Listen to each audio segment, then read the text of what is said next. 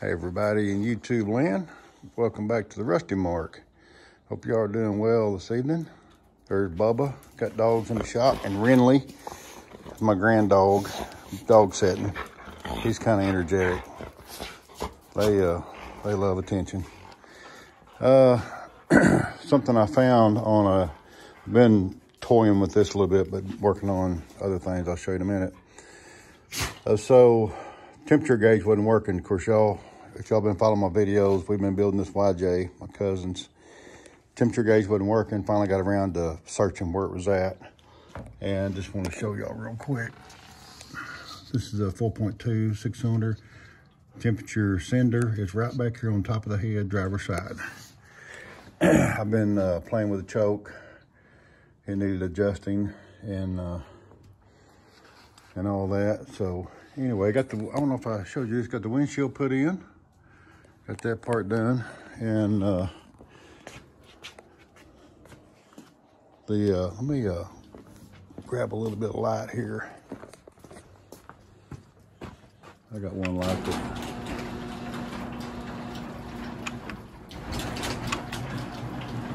Well, come on. Sometimes the button don't work right. There we go. All right. I got a LED light that hid when the door's all the way open. Now we can see a little bit. Anyway, y'all can get a better look at that. Still got to put the stereo in it. Got steering wheel and all that put back together. And we put some uh, standard, we bought some new fender flares put on it. Uh, I have some, or my cousin has some seven inch fender flares still in this box right here. Put everything back up. Brand new in the box, he decided not to use them.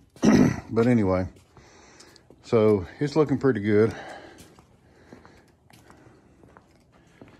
It's coming together. We still got another set of tires and wheels we're gonna put on it, but uh, got a new radio antenna, goes right there. got some decals coming for it. I think y'all enjoy that.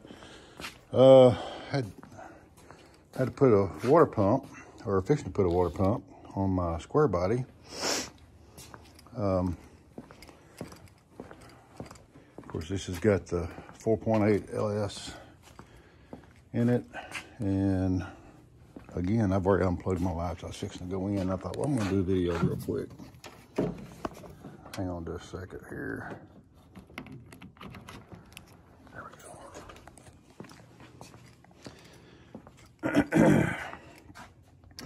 so the LS water pump fits right in there. I got the old one off.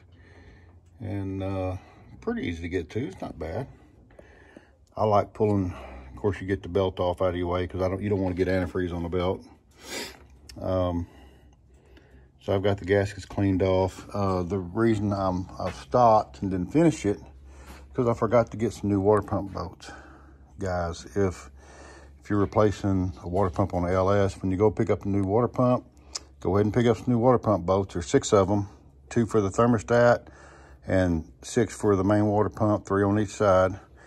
Um, I got one in my pocket. You, as you can see, these two, I cleaned this one up with fingernail polisher. In other words, a grinder with wire wheel on it. Um, couple of them were pretty rusty. You can tell that one has eroded some. And the one of them was really blacked up. I just don't trust them. You know, I don't care. I don't know what they cost. Didn't matter. But two things I'll do on a water pump on LS, put new bolts and I'll put a little anti-seize on the threads, you know, just for good measure. And next time you got to pull it apart, it will be easier. And you don't want to break a bolt off. And this, I'm pretty sure, I'm, I'm trying to remember, this truck, I put this engine in this truck four or five years ago. And I think, I can't remember, but I think I put a new water pump on it then. I'm just, just don't know. I just can't remember.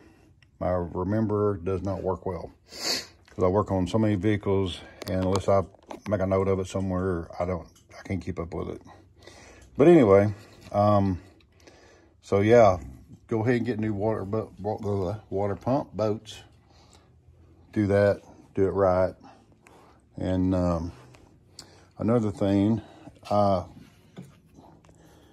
this is a uh,